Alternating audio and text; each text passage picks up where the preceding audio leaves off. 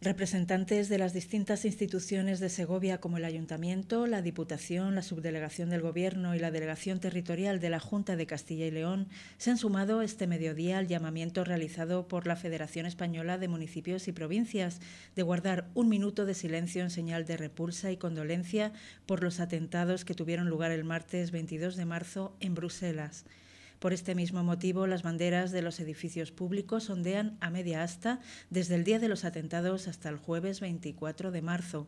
Ante la fachada del Ayuntamiento de Segovia, la alcaldesa Clara Luquero, el portavoz de Izquierda Unida Ángel Galindo y el defensor del ciudadano Rodrigo González han pronunciado unas palabras de rechazo del terror y solidaridad con las víctimas. En la Plaza Mayor de Segovia, numerosos vecinos también han querido sumarse al acto.